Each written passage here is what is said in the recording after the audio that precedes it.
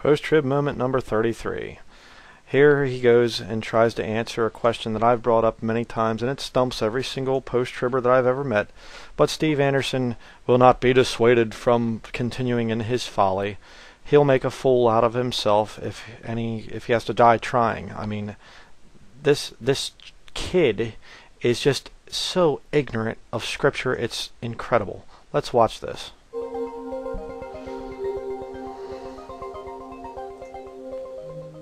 Lot of times what those that believe in a pre-trib rapture will try and throw at you is this doctrine of, well, if those who take the mark of the beast are damned eternally, and if Christians are going to be here during the tribulation, then what happens if a Christian takes the mark of the beast? What's going to happen? Since we know that they can't lose their salvation, and we know that whoever takes the mark is damned, if Christians are going to be here, then how in the world is that going to work? And they'll use that to attack the post-trib rapture. Yeah, because it's a good it's a good question. Believers are sealed until the day of redemption. And the, the answer that this little nut comes up with is just pathetic. Let's watch it. But here's the problem with their logic. Even those who believe in a pre-trib rapture must admit that there are going to be people saved on this earth during the tribulation because what they claim is that, oh, people are going to get saved after the rapture and, and so forth. The so-called tribulation saints is what they call it. And so both pre-trib and post-trib believers acknowledge that there are going to be believers here during the tribulation. Okay? Now what he's assuming here is that both pre-trib rapture Christians and post-trib saints both have eternal security. And that is not what the Bible teaches. You say, can you prove that? Oh, absolutely. I was hoping you would ask. Let me show you. How about in the book of James? James, a servant of God and of the Lord Jesus Christ. Now look at this. To the twelve tribes which are scattered abroad, greeting. When do the twelve tribes show up? They show up in Revelation chapter 7. You don't see the twelve tribes right now on the earth. They're not here.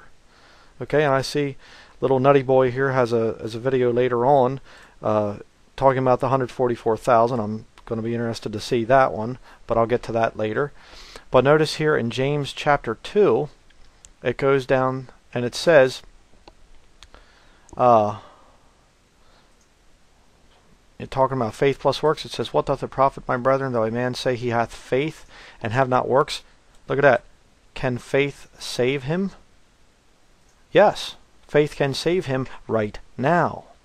But in the time of Jacob's trouble, no, faith can, faith alone cannot save a man. Oh, what heresy! Oh, what heresy! Isn't this awful? Oh, what terrible, terrible heresy. Let's look at Revelation chapter 14, verse 12. Here's the patience of the saints, speaking about tribulation saints. Here are they that keep the commandments of God and the faith of Jesus. End means there are two things keep the commandments and the faith of Jesus. Faith plus works. Let's go here to the book of Hebrews. I thought Paul said that there's neither Jew nor Gentile. You're all one in Christ. Why is a book written to Hebrews? Hmm. Hebrews chapter 10. Okay, let's look at verse 26 here. For if we sin wilfully, wilfully after that we have received the knowledge of the truth, there remaineth no more sacrifice for sins. Um, have you ever sinned willfully after that you have received the knowledge of the truth? Well, if you're a Christian, the answer would have to be yes. Paul wrote in Romans chapter 7, I know that in me that is in my flesh dwelleth no good thing the good that I would do, I do not. You know, the evil that I would not do, that's that I do. Okay, I apologize there. I had a phone call. Getting back to what I was saying, you see there, if you sin willfully, after that we have received the knowledge of the truth, there remaineth no more sacrifice for sins. Look at this. But a certain, certain fearful looking for of judgment and fiery indignation which shall devour the adversaries. If you sin wilfully by taking the mark of the beast in the time of Jacob's trouble, there remaineth no more sacrifice for sins. You go to hell without a possibility of being saved. The Bible does not teach eternal security for a tribulation saint. The only ones who are sealed in the time of Jacob's trouble are the 144,000 Jews. They're said to be sealed in Revelation chapter 7. Look it up. Continuing. So to say that that is an attack on the post-trib rapture, how is this going to work, doesn't make any sense when pre-tribbers believe the exact same thing, that there will be believers on this earth during the tribulation. It doesn't prove anything. Because, see, I just told you that the believers, the, the tribs, the post, or, uh, excuse me, the tribulation saints, they don't have eternal security. They are not sealed unto the day of redemption, like a Christian is in the body of Christ in the church age. He doesn't know the Bible. And the answer is very simple, that no Christian will take the mark of the beast. It's that simple. You say, Oh, yeah, okay. No Christian would take the mark of the beast. A real Christian would never take the mark. Really? How many real Christians are messing around on Facebook right now? You know, which is funded by the CIA and the Department of Defense. How many Christians mess around with QR codes and iPhones and all this stuff that they're being tracked with? How many Christians go out and get themselves all numbered and all kinds of things, you know? Don't tell me that real Christians wouldn't take the mark of the beast. Yes, they would. And, and watch what the little, you know, gymnastics that this little nut pulls off here as we continue. Well, what if they do? What if they do? Well, you know, what if aliens land and, and I'm abducted? I mean, you can have say what if all day long.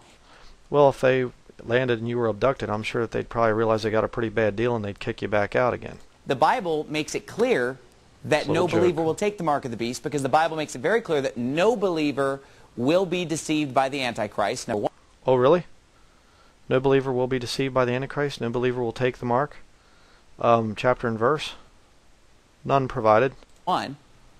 And number two, in order to receive the mark of the beast, the Bible teaches very clearly that you must worship the beast. It's always associated with worshiping the beast and receiving his mark. Now, I think part of understanding this is understanding the motivation behind the mark of the beast. The Bible says that the Antichrist is making war against the saints and seeking to overcome them.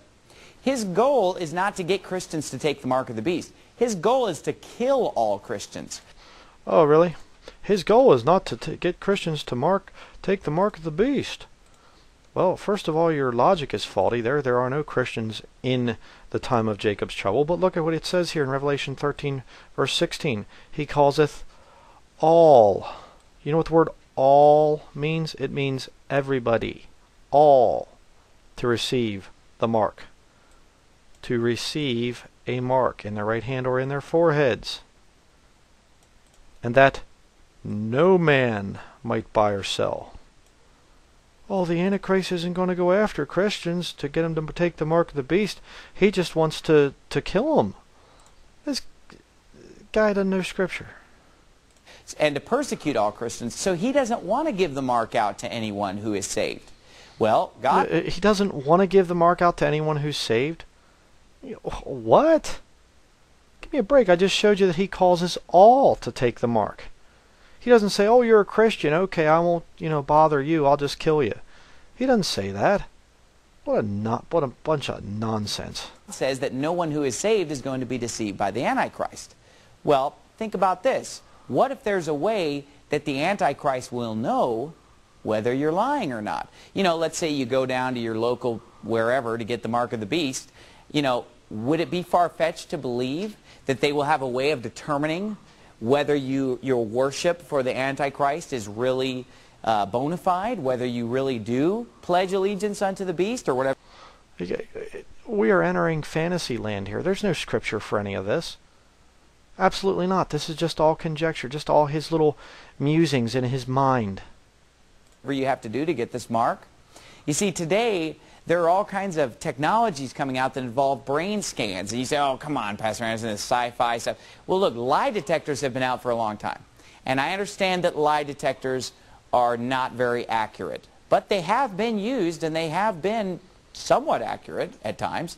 And so as that technology expands and moves forward, I don't think it's that far-fetched at all to think that there will be some kind of a test some kind of a, a, a, a brain scan or some kind of a, you know, super advanced polygraph system. Oh, brother. Chapter and verse on any of this? No, of course not. That can determine whether you really are uh, one who, who, who worships the beast and believes on him. And let's say a Christian just decides, well, I got to buy or sell. I'm going to go bite the bullet and get the mark of the beast so that I can do this. You know, when they get down there and try to do it, you know, some kind of an alarm's going to go off saying, hey, this is not legitimate. You don't, you're not one of us. You're not a true patriot. And they'll be arrested and they will be beheaded. So. yeah, okay. Um, back to Hebrews. You say a, a, a true Christian, a, you know, we'll, we'll make it a true believer, goes down and they try to get the mark and they the scanner, the brain scanner goes off and they can't take the mark because it doesn't work. You know? How do you explain this? Sinning willfully after that we have received the knowledge of the truth, there remaineth no more sacrifice for sins. Uh, how do you explain that? Trib saints, tribulation saints that go and take the mark are damned. And there's going to be some kind of brain scanner that says, "Oh no, I'm sorry, you're saved. You can't take the mark." So really, they'll just be showing up for their own death.